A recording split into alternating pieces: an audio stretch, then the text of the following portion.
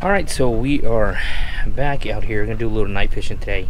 Don't forget to subscribe to the channel if you haven't subscribed already. Like the video, comment, share, all that good stuff. Ruben Texas All Water Fishing, and uh, yeah, want to get some lines wet. I don't see any bait just yet getting popped on and blown up on, but the lights just started cooking. So it's a little after what is it, like seven o'clock? 6:20, 6:23. So still kind of early. So hopefully as the evening goes and the lights start cooking a little more, the bait starts coming into the lights, and then you start catching.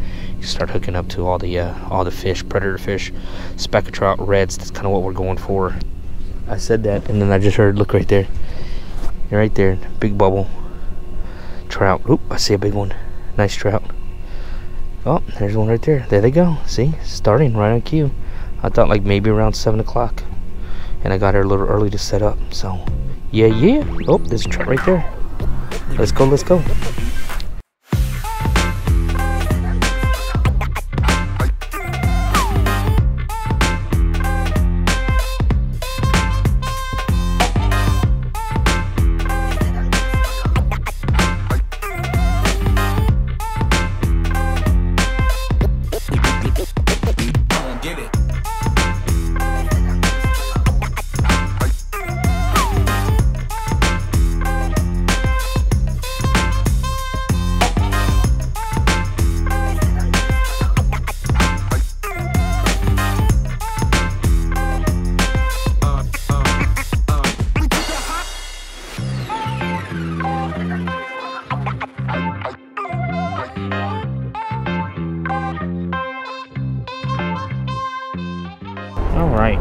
Start off Kastmaster style spoon and uh, see if we can get one. The the the um the dogs love the fish, man. They love the fish, especially this guy right here.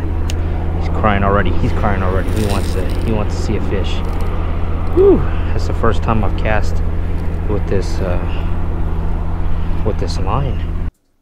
Now I put 15 pound Fluorotest line on here one of the things that you want to keep in mind when you are night fishing and fishing, whether the green lights or overhead lights, is that you want to take consideration of what the fish can see. So instead of fishing with my 20, 30 pound braid, wanted to change it up a little bit. 15 pound Yo-Zuri fluorocarbon leader line. Want to try to keep the line just a little bit more invisible don't want fish to see it. After that, just I see what they're feeding on. They're feeding on little, small, little bait fish, and uh, I think this spoon's a little big. It's probably gonna fall a little fast, but I'm gonna try to make it work. Slowly jigging the spoon, letting it fall from different water columns, trying to entice a speckled trout or maybe even a sand trout to bite. Uh, there's plenty of sand trout in this water, and I keep feeling getting bumped. I keep getting small hits and nips, and I'm just letting it fall. I'm fishing the upper water column, I'm fishing the lower water column, just really trying to find and figure out where they're at. Oh, there we go. There's a nice one on top right there.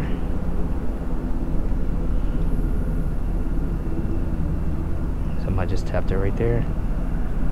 They just bump it a lot of times. Oh, there we go. That's what we are getting right here. Sand trout. So we're seeing come up. Oh, that's a little speckler. Yeah, a little speckler, speckler. First fish, speckler. Need a little bigger one. But that's kind of the size that we're seeing. I have a, this is a bucktail from Salty Head. Let me get this guy out first. That's a small little salty head jig head with a, uh, not the salted jig with the little small old school shrimp. Company don't even make them anymore. I found some and there's their bucktail. So I'm gonna see this kind of set up for for trout right here. See if we can get a trout. You like that one? Sherlock says he likes that one. See wagging his tail down there. He said that's a good one. There we go. There's one. Look at that. Look at that. What is that? Is that a trout? Yeah. Is that a sand trout? Can't have it though. He wants to eat him. You can't eat him though. He committed. Huh. I knew they would. Just a good little good little rig, good little setup.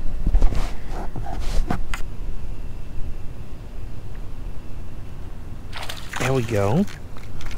Uh-oh, that was a little bigger, huh? You want that one? He's very into it. He wants that fish. He's like, yeah, I want that fish. Can't have it, buddy. Can't have it. A little smaller profile rattle trap. And I'm gonna see if it works. I have 20 pound, real long leader line, 20 pound floral Harmon leader line. I'm hoping that's gonna hold up to some of the bigger reds, but the water visibility has been good. Always excited. The water visibility has been pretty good at night, so uh, with that in mind, I want to go to a smaller diameter leader line so it kind of hides a little bit more or hides a little better. So let us see. All right, I just got a fish on. I'm fighting with this Stiga camera, and now it's on. Now we got him. Nice red. First of the night. Right here in front of this dock right here. Right here. There he comes. Okay, you tell me how to net it. Just put it down and I'm gonna try to bring him Uh, right to first? you. Mm-hmm. We're gonna go face first. So I'm trying to try to bring it right in. Hopefully we'll get it. I'm gonna hold his head up. There you go. Now pull it up. Pull it up. There you go. Yeah, No, no, get the no. assist. You can't have it, buddy. It'll be okay. Okay, It's so show me when it goes all the way down there. So I just grab the hook and just push it down real hard and hold it down. I'm just gonna jerk it away from No. him. Jerk it away from him, pull that barb out. There it goes. Okay. So I couldn't even see where the hook was. I didn't even Yeah, know. when it's down like that, those are hard. Do you want a picture? That's a nice big one. That's a nice camera? big one. I don't have a camera. I got one in my pocket.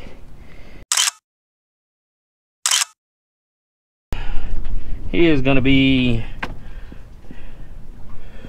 what? 27?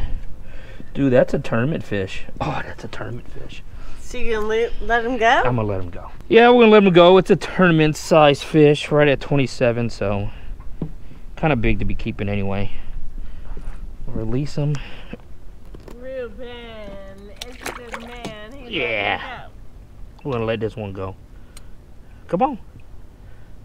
Swim. There he goes. Man, you're stinky. Man, did I get hit. It feels like a very nice spec. I just put a new lure on. I've never used it before.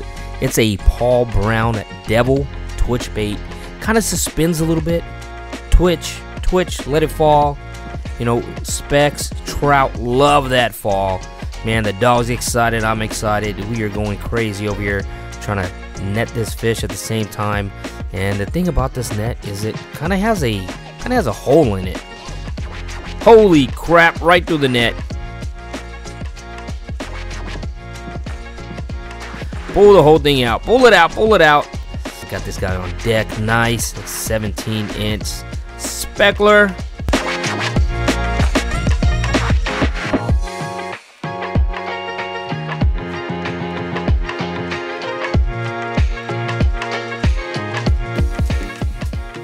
So it's kind of slow. It's a little slow. I'm still seeing the specks pop on top water surface. I'm seeing the, the speckled trout do the same thing. Put this voodoo shrimp on. I'm going straight line. This is a fluorocarbon, 15 pound fluorocarbon Yo-Zuri line. Going straight line. I'm looking for that red. I want that big red. I want that big trophy red. I, I broke off just a few minutes ago. I know they're out here. They're, they're kind of hanging out in the dark just a little bit. So let's see if we can get them. So we can get them with this uh, with this voodoo shrimp.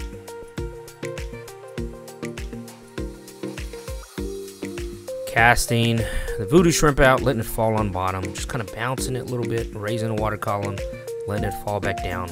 There it is, there it is, there it is. Big, big bite. Just a nice big hit. It is just pulling and pulling. Nice big red. Nice big red. Best red I felt all all evening. Just trying to keep my rod tip up, Let him run a little bit. Keep my eye on this this line, 15 pound floral carbon line. My gosh, this guy is just so strong. Get the net ready. Oh, oh, he ran at me, ran at me. Nope, he's trying to run to run to my left a little bit. He's running my left. He wants to, trying to break me off in those docks off to my left hand side in the in the dark there. Trying to muscle him. Trying to muscle him. Oh, just a little. Already had one break off on me. Really don't want to lose this one. This guy is strong. I can just feel it. He's just burning up my thumb. Trying to thumb the spool a little bit.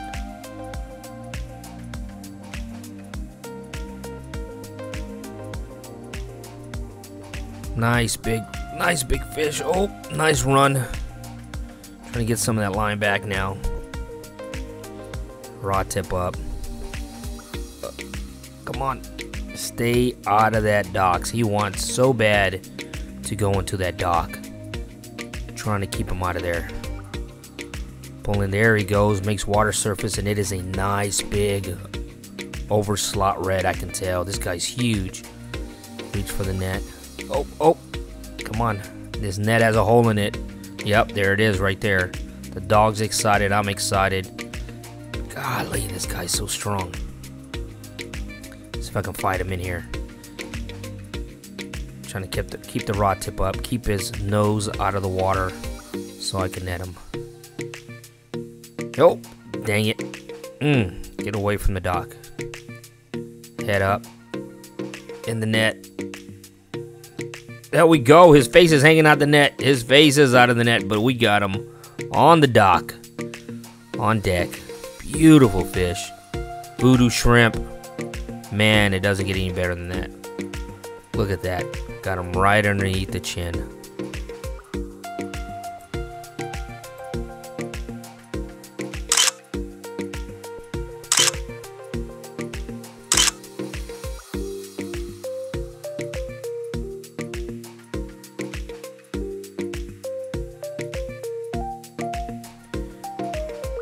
Beautiful 29 inch red.